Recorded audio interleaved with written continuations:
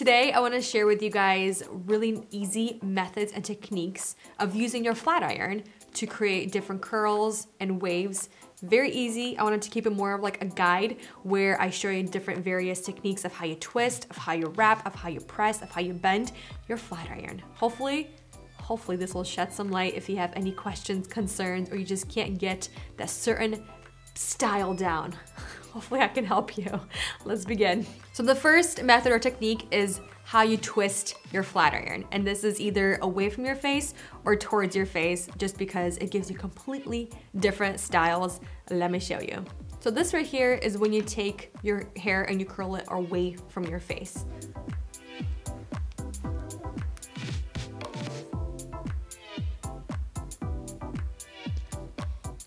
This, I feel like it kind of opens up your face because you have that hair and it's swooping away, kind of like when you're walking into the wind, you know what I mean? And now let me show you what it looks like when you're curling it towards your face. So you take your hair and instead of away, you do it towards your face. As you can see, the waves, they're completely a different look.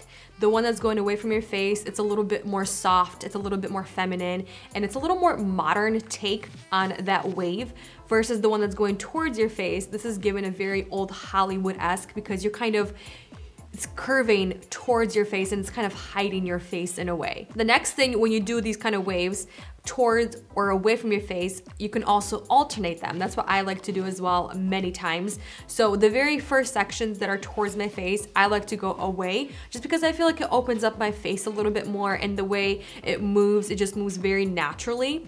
And then the next section, towards my face and it kind of plays with the technique a little bit. Let me show you. Because this one is away from my face, this next section I'm gonna do towards my face. Same thing, twist it towards first and then down. You can see it right there. Just kind of plays with each other. And this one, we're gonna go away.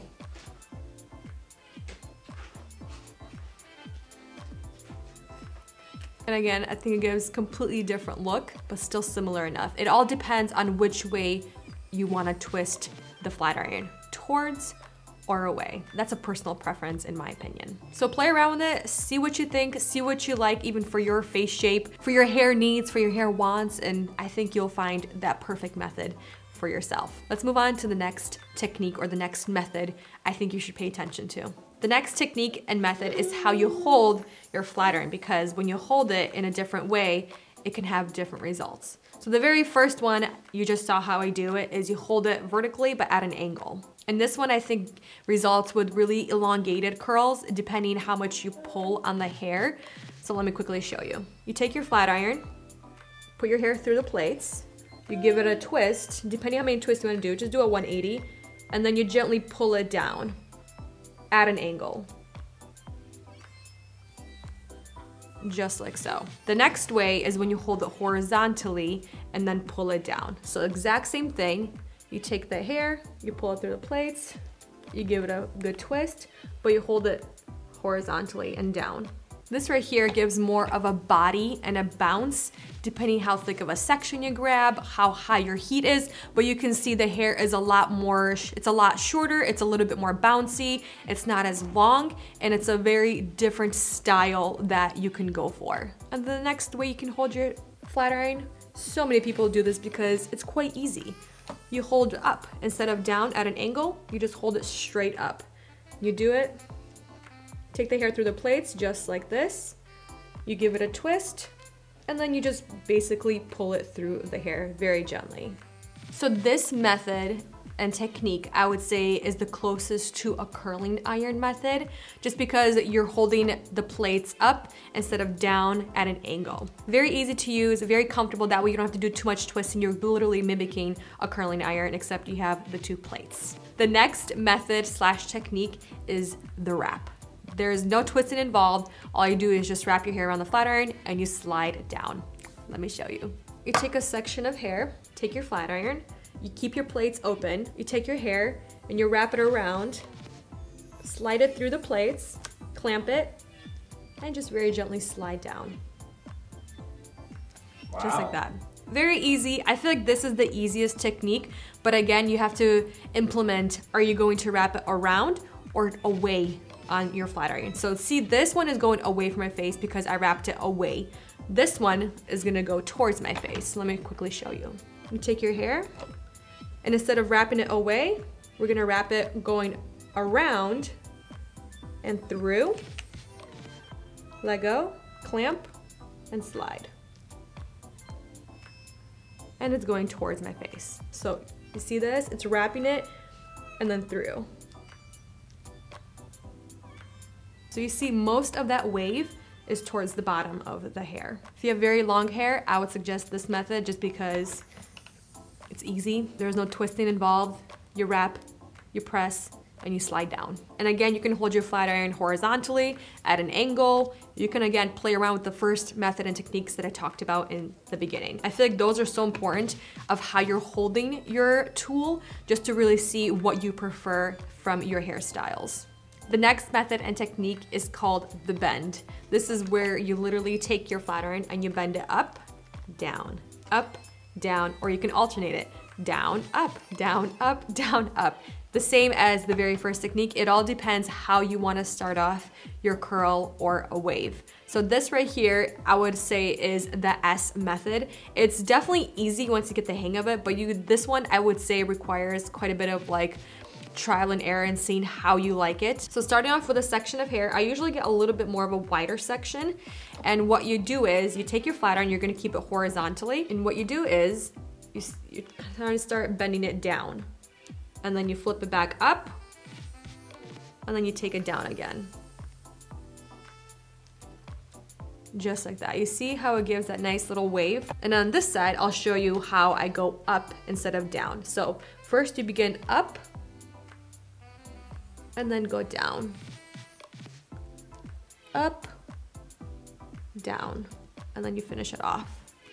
So you can see it's a little bit different, but similar enough, you know what I mean? So this one, I also like to alternate. At the very top, I'll start up and then I'll go down, but then I'll start alternating midway just to kind of give a different dimension, a different look to the way so they're not all unison, a little bit different because natural waves, they don't all go in the same direct in the same direction. They're kind of, you know, do their own thing on your head. So I do appreciate this one because it looks like you didn't try so hard, but you do have a little bit of a bend happening here and there. And it's quite easy. And like I said, you can also play with your angle of the flat iron. So taking it a little bit at an angle like this,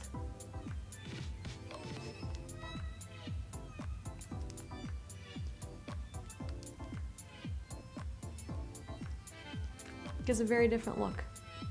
Once you figure out the method that you prefer with this bend technique, it's really easy and it takes not even a couple of minutes to do your full head because the thing is you don't have to be very precise with it, just go for it and you're done. The next method is called the pressing method. This is literally where you take the flat iron and you press it over a certain pattern that you are creating. Again, this is very easy, but it is the most time consuming this is the most creative, the most imaginative because you can do your hair around any kind of object and then you take a hot flat iron and then you press it to create that style. People were going crazy, wrapping it around pencils, chopsticks, whatever you could possibly find to wrap your hair around it and then take your flat iron and press it over to get that heat through. Or you can do like the pinup curls, you can do like those little bends and you can press it. So for example, you can take a section of hair and you kind of bend it down, you take your flat iron and you press it a couple of times over this area,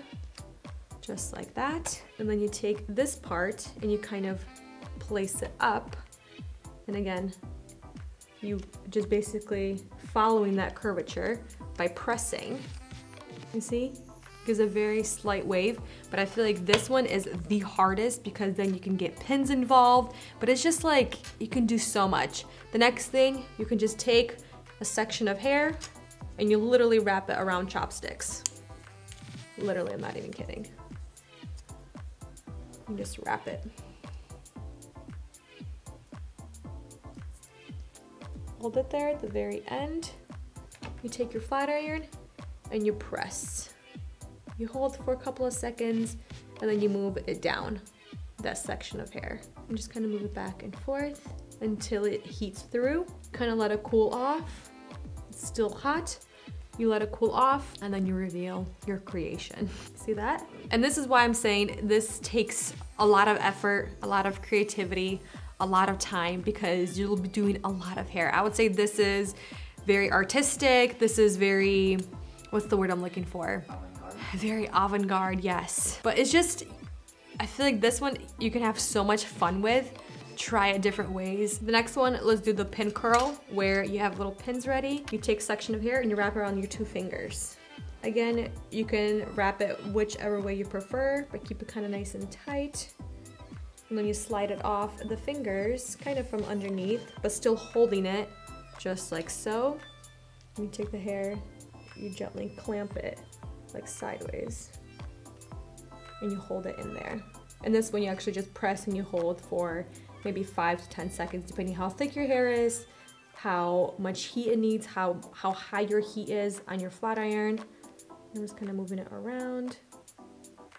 My layers are getting out.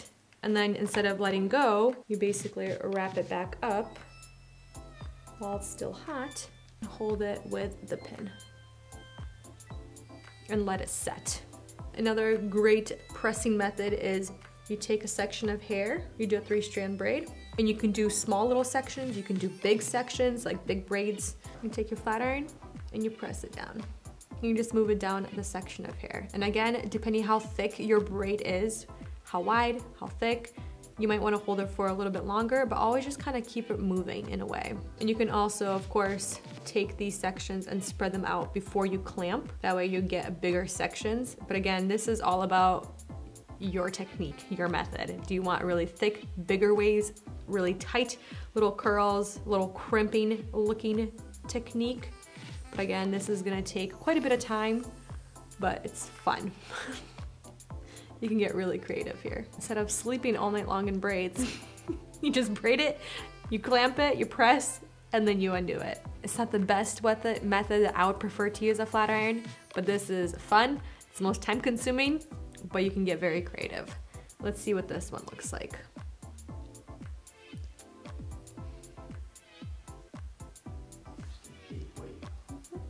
It's a nice big wave. This is, I think, more about having fun with it you know what I mean? Getting your creative side, your artistic side out and just having fun with your hair or do it on somebody else if you really want to explore different techniques, different options. Have a flat iron party. Flat iron party. Just be careful. Don't burn any hair off. Another way you could do this is you could do horizontally and then you go down and then you wrap it back up into your fingers and then you clamp it out of the way. That way this will ensure that the that the curl is nice and set. It's a little more consistent, it's more uniform, and I personally prefer to do it like I mentioned. I hope this shed a little bit more light on how to use a flat iron because there's so many different techniques and different methods, but I feel like once you get those first several methods and techniques down, you'll know exactly what you wanna do, you'll get very proficient at it, and then you won't even really have to think about it and you'll just do whatever. You'll wrap, you twist, you bend, you press, whatever your heart desires. But I feel like this is a good little guideline of what you can do and what